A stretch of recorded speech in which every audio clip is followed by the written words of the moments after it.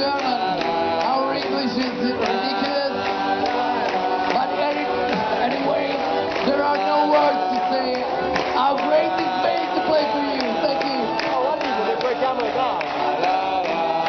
Minafra Almasta! Good